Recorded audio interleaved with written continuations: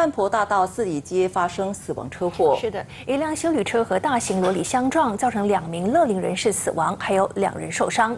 罗里司机在案发之后疑似逃离现场，行踪成谜。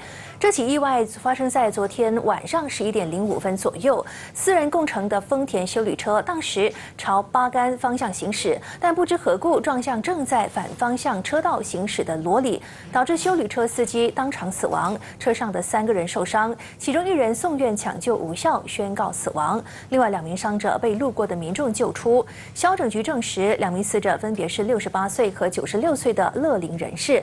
当局已经把遗体交给警方做进一步调查。警方还在追查罗里斯基的下落。